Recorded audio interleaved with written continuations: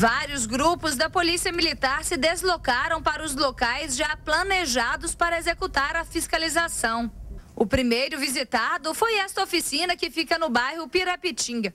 Aqui foram vistoriados a documentação dos veículos em uso e das sucatas, além de partes do interior dos carros.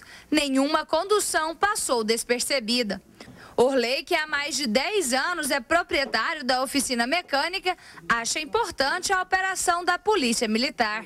Acho bom, né, que regulariza os documentação tudo e a oficina também, né, fica beleza para a gente trabalhar. Segundo o tenente Edson Roberto, comandante da operação, uma grande equipe de policiais foi montada com o intuito de conseguir vistoriar todos os estabelecimentos que constam na lista. Esse é o quinto ano da Operação Impacto realizada aqui em Tuiutaba. Ao todo, 10 locais foram vistoriados. A operação tem como objetivo identificar irregularidades nas oficinas e ela não acontece isolada. Tuiutaba nós estamos com 10 pontos na área do batalhão na região do Pontal Triângulo Mineiro em todas as cidades também e na cidade de Uberlândia, ou seja, é uma operação a nível regional.